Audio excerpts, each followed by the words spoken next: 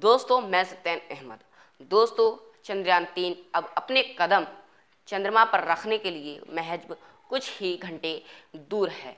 बस अब वो अपने बहुत ही जल्द चंद्रमा पर कदम रखने जा रहा है। कार्यक्रम के अनुसार 23 अगस्त शाम छः बज के चार मिनट पर चंद्रयान तीन अपने कदम चंद्रमा पर रख देगा।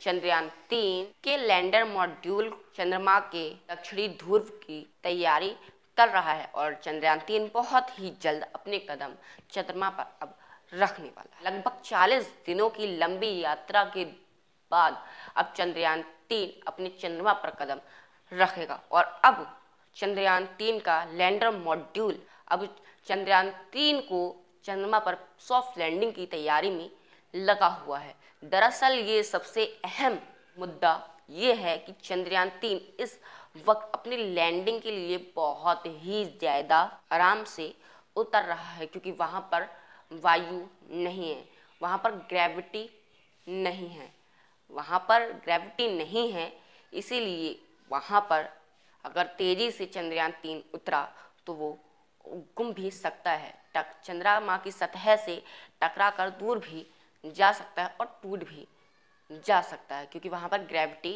नहीं है।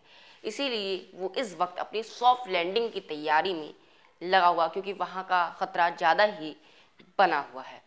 इसी प्रक्रिया के दौरान अब चंद्रयान तीन अपनी सॉफ्ट लैंडिंग की तैयारी कर रहा है, और ये बहुत ही जटिल तैयारी है। ये बहुत ही नाजुक लैंडिंग होने वाली है। इसमें सबसे ज़्यादा अहम पंद्रह मिनट क्यों हैं? क्योंकि वो इसीलिए हैं कि जब, क्योंकि जब चंद्रयान टू, यानी कि दो, जब चंद्रमा पर गया था तो उसको लैंडिंग में लगभग पंद्रह मिनट लगे थे। और सावन ने भी अपने पंद्रह मिनट बहुत ही ज़्यादा अहम उतरने में चंद्रमा पर बताए थे। 2019 में चंद्रयान टू की लॉन्चिंग में लैंडर मॉड्यूल लगभग चंद्रमा की सतह से 2.1 केमी दूर था। लेकिन अब यहाँ तक तो सभी कुछ ठीक रहा, लेकिन एक छोटी सी तकनीकी गड़बड़ी के कारण चंद्रयान टू का लैंडर मॉड्यूल क्रैश हो गया। इसरो के मौजूदा अध्यक्ष एक सोमनाथ ने कहा, चंद्रयान थ्री लैंडर मॉड्यूल के साथ इस तरह की दुर्घटना में रोकने के सारे ही इंतज़ाम कर दिए गए हैं और जिससे कि चंद्रयान तीन अपनी सुरक्षित लैंडिंग कर सकता है। अगर जिस तरह चंद्रयान टू में ये सब कुछ हुआ था, अगर ऐसा होता है तो चंद्रयान तीन इस बार रुक सकता है।